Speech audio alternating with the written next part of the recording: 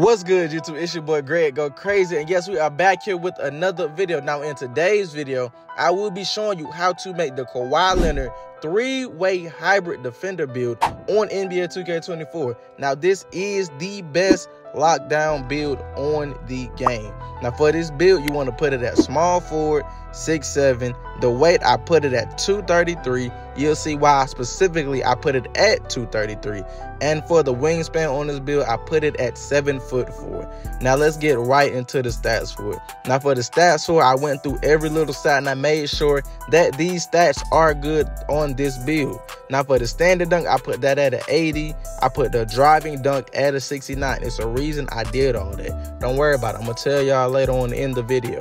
Now for the driving layup, I put it at a 51 and I put the close shot at a 57. I put the standing dunk at an 80 rating so you can unlock the good standing dunk packages. That's really all you need on this game. I know some people, when they make lockdowns on this game, they choose to go with a 90 rating. But all you need is either Draymond or Ben Simmons. Those are the only two standing dunk packages you need. Now for the shooting, I put the three-pointer at a 79, max it out. Put the mid-range at an 86, so you do get good shooting badges on goal. And I put the free throw at an 81, because you know you still get a good free throw.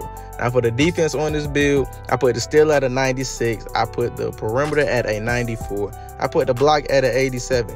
Now for these stats, that is really all you need for the defense. And I put the interior at the 72, so you still get anchor on this build.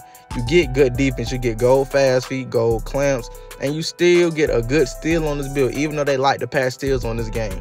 For the pass, I got to put it at the 75. Pass actually really don't matter. But as you can see, you still do get Hall of Fame fast feet, and you get gold chase down artists on this build. This build is nice. When I tell you it's nice, it is nice like most of these ratings, you really go through and tweak everything, and you get Hall of Fame challenge, Challenger, Hall of Fame ankle braces, gold pick dodger, which if you're playing in a Rec, this build is very useful. I'm telling you, you get silver blinders, gold catch and shoot, you can really shoot the ball. For the shooting badges on silver, that's really all you need. You don't really have to have them on Hall of Fame, but silver is good enough. Now, once you complete everything on this build, you will see the shades of this build. And the title of this build does come out to a hybrid defender.